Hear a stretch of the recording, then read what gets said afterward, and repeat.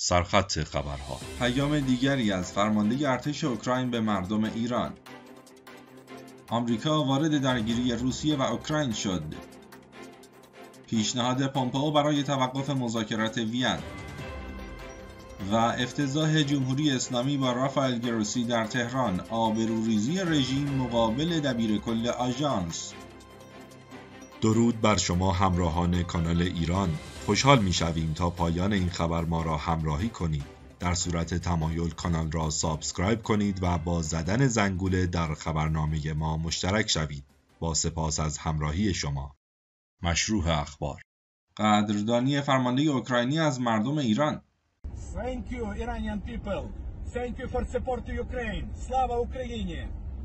من با اولک هستم یکی از نظامیه ارشدی که داره منو می‌بره به نقطه جنگی امیدوارم که رپورتاج بعدی و بعد از این تو تبلیغ رسم سلاوا اوکراین.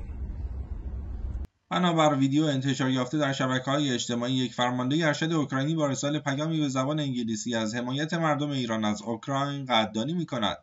برخلاف مسئولان جمهوری اسلامی که از تجاوز نظامی روسیه به اوکراین دفاع می کنند ایرانیان از همان روزهای نخست با برگزاری تجمعات حمایتی در مقابل سفارت اوکراین دیوارنویسی و سر دادن شعار علیه سردمداران حکومت روسیه این حمله نظامی را محکوم کردند. تهاجم به اوکراین مذاکره آمریکا با لهستان برای ارسال جنگنده های میگ 29 به اوکراین. سازمان اطلاعات ارتش بریتانیا در جدیدترین تحلیل خود که روز یکشنبه منتشر کرد گفت که حملات روسیه در حال حاضر عمدتا محلات پرجمعیت شهرهای اوکراین را هدف قرار می‌دهد. به گفته سازمان اطلاعات ارتش بریتانیا روزها از مقاومت شدید طرف اوکراینی غافلگیر شدند و قصد دارند با حمله به اهداف غیر نظامی روحی اوکراینی ها را تضعیف کنند این گزارش برای نمونه به حملاتی اشاره می کند که علیه مناطق مسکونی خارکیو، چرینهیف و ماریپول جریان دارد. به گفته این سازمان، این همان روشی است که روسها برای شکستن مقاومت علیه مناطق پرجمعیت چچن در سال 1999 و سوریه در سال 2016 انجام دادند. به گفته مقام های اوکراینی با ادامه بمباران شهر ماریپول در جنوب شرقی اوکراین تخلیه ساکنان شهر ناممکن شده است. در همین حال خبر می رسد که روزها تلاش های جدیدی برای بازپسگیری فرودگاه مهم هستومل در نزدیکی کیف انجام دادند. یکی از نمایندگان سفارت اوکراین در واشنگتن به صدای آمریکا گفت که سفارتخانه او بیش از سه هزار درخواست از سوی شهروندان آمریکایی دریافت کرده است که می‌خواهند به جنگ علیه روسیه بپیوندند. ولادیمیر زلنسکی رئیس جمهوری اوکراین از تشکیل یک لژیون بین المللی برای خارجی هایی که می‌خواهند در اوکراین علیه روسیه بجنگند خبر داده است و اکنون خبر می‌رسد که در آمریکا بیش از سه هزار نفر داوطلب پیوستن به این لژیون شدند. همچنین بنابر گزارش ها 16 هزار نفر غیر اوکراینی به ویژه از کشورهایی مانند گرجستان و بلاروس تاکنون داوطلب پیوستن به جبهه اوکراین علیه روسیه شدند و صدها نفر از آنها هم در حال حاضر وارد اوکراین شدند. ولادیمیر زلنسکی رئیس جمهوری اوکراین می‌گوید نیروهای نظامی روسیه در حال آماده باش. برای بمباران شهر اودسا هستند. او این اقدام را یک جنایت جنگی و تاریخی خواند. شهر اودسا یک شهر استراتژیک و بندر اصلی اوکراین واقع در سواحل دریای سیاه است و مقر فرماندهی و پایگاه اصلی نیروهای دریایی اوکراین نیز در این بندر قرار دارند. ناوچه ها و ناوشکن های روسی که در دریای سیاه حضور دارند پیش در دهها موشک کروز علیه پایگاه های نظامی در بندر اودسا شلیک کردند. این موشکها بخش عمده شناورهای نیروی دریایی اوکراین را به همراه انبارهای مهمات نابود کرده است. به رغم حملات شدید شهر خارکیف دومین شهر بزرگ اوکراین که در شمال شرقی کشور واقع شده و عمدتا روسی زبان است همچنان تحت کنترل اوکراین قرار دارد. به گزارش رادیو اروپای آزادی بسیاری از 1.5 میلیون نفر ساکنان خارکیف فرار کردند و کسانی که ماندند شرایط سختی را توصیف می‌کنند که فرار از آن دشوار است. ارینا اوسا شاعر معروف اوکراینی و ساکن خارکیف. در این باره می‌گوید هیچ یک از مسیرهای فرار هنوز ایجاد نشده است اما مردم در تلاشند تا شهر را ترک کنند. رانندگان تاکسی در شهر به دلیل ترس از تیراندازی ها حاضر نیستند مردم را به ایستگاه قطار ببرند و قطارها هم طبق برنامه مشخصی کار نمی کنند که برنامه ریزی برای فرار از این شهر را دشوار می کند او گفت میترسیم به ایستگاه برویم و گیر بیفتیم و مجبور شویم در بین گلول بارانها به خانه برگردیم. ولادیمیر پوتین چه می‌خواهد؟ می‌خواهد همه ما را بکشد همه چیز را نابود کند. من هدف این جنگ را درک نمی کنم نشریه پولیتیکو به نقل از چهار مقام آمریکایی نوشته است که آمریکا در حال حاضر با لهستان درباره انتقال جنگنده های میگ 29 به اوکراین است. لهستان، بلغارستان و اسلوواکی دهها فروند از این جنگنده ها را که ساخت شوروی سابق است و خلبانان اوکراینی با آن آشنایی بیشتری دارند در اختیار دارد. مقام های لهستان از دولت آمریکا تضمین خواستند که در صورت تحویل این هواپیماهای جنگی به اوکراین به آنها جنگنده های ساخت آمریکا مانند F-16 بدهد. مقام های آمریکایی به پالیتیکا گفتند دولت بایدن مخالفتی با ارسال جنگنده های لهستانی به اوکراین ندارد ولی جایگزینی آنها ممکن است مدت زیادی طول بکشد.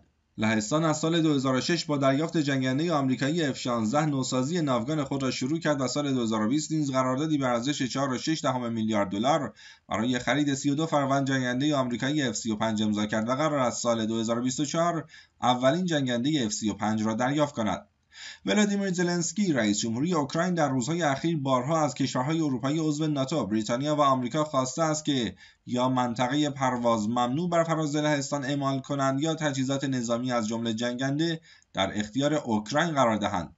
بحث ایجاد منطقه پرواز ممنوع با مخالفت ناتو مواجه شده است ولی کمک های نظامی کشورهای مختلف اروپایی به اوکراین ادامه دارد. دولت آمریکا نیز پیشتر کمک نظامی 350 میلیون دلاری به اوکراین را اعلام کرده بود. به گزارش پلیتیکو تاکنون 240 میلیون دلار از این کمک ها برای اوکراین ارسال شده است. پومپئو خطاب به بایدن توافق با رژیم تروریستی ایران اجازه فروش نفت به آنها را می‌دهد. در آمریکا نفت داریم از آن استفاده کن لعنتی. مایک پامپا وزیر خارجه ایالات متحده در دولت پرزیدنت ترامپ با انتشار پیام توییتری بار دیگر نسبت به توافق احتمالی تیم بایدن و دیگر قدرت‌های غربی با رژیم اسلامی و لغو ها واکنش نشان داده و آن را خطر بزرگی برای ایالات متحده و جهان دانست. پامپو در پیام خود خطاب به جو بایدن نوشت لغو تحریم ها علیه رژیم تروریستی ایران جنگ و ترور بیشتری را به همراه خواهد داشت. برنامه هسته ایران را متوقف نخواهد کرد و یک ایران ثروتمند به کشتار در سراسر جهان ادامه خواهد داد حتی اینجا در خانه. طرفین مذاکره کننده در وین اعلام کردند تا حد زیادی به توافق نهایی نزدیک شدند. در همین حال سرگئی لاورو وزیر امور خارجه روسیه روز گذشته خبر داد که کشورش از آمریکا ضمانت خواسته که تحریم ها بر سر اوکراین و روابط مسکو با تهران زیل توافق موسوم به برجام اثر منفی نداشته باشد. به گزارش خبرگزاری رویترز آقای لاوروف که خود در کنار ولادیمیر پوتین از جمله اهداف های گسترده بر سر تهاجم به اوکراین بوده به خبرنگاران گفته است که روسیه خواهان ضمانت کتبی از آمریکا در این زمینه است. او گفت ما ضمانت می‌خواهیم که این تحریم ها به هیچ شکل بر مناسبات اقتصادی و تجاری ما با ایران که زین برجام قید شده اثر نگذارد. مایک پومپو همچنین در پیام دیگری خطاب به بایدن خامنه ای را مستبد خونخوار نامیده و نوشت که بایدن اجازه می‌دهد که جهان از یک مستبد خونخوار نفت بخرد. توافقی که بایدن به همراه رهبران روسیه و اروپایی ها با خامنه ای کردند و به او اجازه فروش نفت می‌دهد به طرز باور نکردنی احمقانه غیر اخلاقی و خطرناک برای آمریکا اسرائیل و جهان است. پومپو در پایان خطاب به بایدن نوشت ما نفت آمریکا را داریم از آن استفاده کن لعنتی. رافائل گروسی در تهران موضوعات خاص حل نشده و تا حل نشود توافق در کار نیست. مدیر کل آژانس بینالمللی انرژی اتمی و رئیس سازمان انرژی اتمی جمهوری اسلامی روز شنبه 14 اسفند پس از گفتگو با یکدیگر در یک کنفرانس خبری شرکت کردند. در ابتدا ویدیویی ببینید از روزی مقابل دبیرکل آژانس در سازمان انرژی اتمی با این وسعت دو مترجم همزمان و هدفون پیدا نمی شود که کمالوندی در گوش گروسی ترجمه نکند. دفع و رفع این اتهامات از سر کشور. ایجاد یک برنامه توت آمیزی که توسط سهم ها مدیریت و هدایت میشه. متاسفانه انتها نکشیده و دلیل شکلی برجام هم عبور از همین موانع ادعایی بود که خب در سال 2015 اینها بسته شده ولی باز مجددا اون شیطنت های دام کرده. و در این مقطع که مذاکرات در بیان در حال انجام هست و در مراحل پایانی قرار گرفته به همین دلیل روشن واضح این یکی از خطوط قرمز جمهوری اسلامی ایران هست که این موارد ادعایی هم بایستی بسته بشه برای همیشه و بیش از این مزاحمت سر راه ملت ایران و کشور ایجاد نکنه. به این دلیل ما با توافقی که با آژانس کردیم مذاکراتی که در طول روزهای گذشته و هفتههای گذشته بین ما و آقای گروسی صورت گرفت و امروز ما با یک با یک بیانیه این توافق رو اعلام می‌کنیم. گام هایی که در تعامل با یکدیگر به صورت مساعدت متقابل و ارائه مدارک و مستنداتی که این ابهام رو از سر کشور برطرف بکنه و ببره به سمت بسته شدن. یکی ماه خرداد که یکی فاز از همه فازهای توافق بیان هست انشالله این رو انجام میدیم. اگر کسی باز مزاحمت ایجاد بکنه سر راه و بخواد با تولید اطلاعات جلی یک مانعی بشه برای پیشرفت اون موقع ما اختیار داریم که از ابزار خودمون استفاده بکنیم و اجازه ندیم تجربه گذشته دوباره تکرار. اسلامی خیلی متشکرم. همینطور از آقای گروسی سپاس. محمد اسلامی در این کنفرانس گفت امروز با آقای گروسی مدیر کل آژانس بین‌المللی انرژی اتمی مسائل باقی مانده را که در سفرهای گذشته ایشان و سفر همکاران ما بود مرور کردیم و به یک جنبندی رسیدیم. بنا شد تا آخر خرداد ماه مدارکی که لازم است. بین ایران و آژانس تبادل شود. این وقت کشی رژیم ایران در حالی است که مرتب در حال قول دادن درباره ارائه مدارک در ماههای آینده هستند. در هر حال همانطور که قابل پیش بینی بود تماس تلفنی نفتالی بنت نخست وزیر اسرائیل با گروسی پیش از سفرش به تهران موجب دردسر برای مقامات جمهوری اسلامی شد. در همین ارتباط اسلامی گفت نفوذ سیاسی و لابیگری نباید در تصمیمات آژانس اثر بگذارد و ایران و آژانس باید در یک مسیر کاملا حرفه‌ای و رفتار در چارچوب کارشناسی مسائل را دنبال کنند و جای هیچ گونه سیاسی کاری نیست. رئیس سازمان انرژی اتمی ادامه داد که بسیار خوشبین هستیم که نفوذهایی که دشمن در راه توسعه کشور ایجاد کردن رفع شده است و اقدامات موجب پیشرفت حرکت هستگی ایران شود.